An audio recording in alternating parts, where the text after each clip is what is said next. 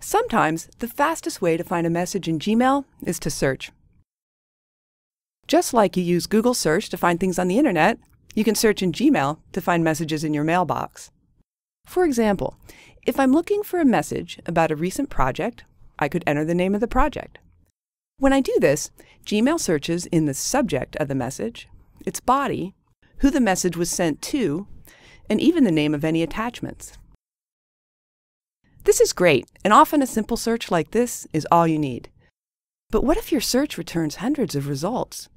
At that point, you'll want to narrow it down. Let me show you how. A good way to narrow your search is to use a couple terms together. If I want to find messages from my manager about a certain project, I would enter her name and the project name.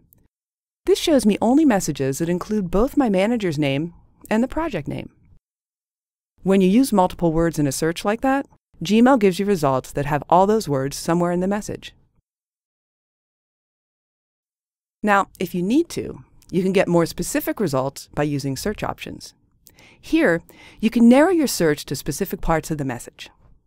For example, you can search only by the sender of the message, the subject, or the time frame when the message came in, just like you might have sorted messages by sender, subject, or date in your old mail program. But did you know there's even a faster way to use search options? Let me show you that. If you remember, the search options had a place where you could search by sender by entering a name or email address in the From box.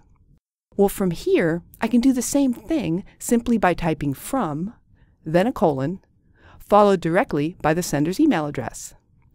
This works with a lot of other terms too. For example, I can type to colon, which searches for messages I've sent to somebody. Subject colon is another example, which searches only the subject of the message. And there are some other terms you might not think of, but should try as well. Say you need to find a message with an attachment. Well, if you type has colon, then attachment, Gmail shows you only messages with some sort of file attached.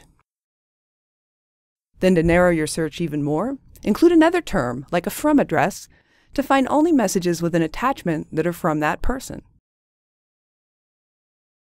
Another good one is to type in colon, then a label name, to list messages with a certain label, just like opening a folder in your old mail program.